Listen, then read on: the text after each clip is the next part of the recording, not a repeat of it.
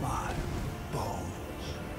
A tarnished cannot become a lord. Not even you.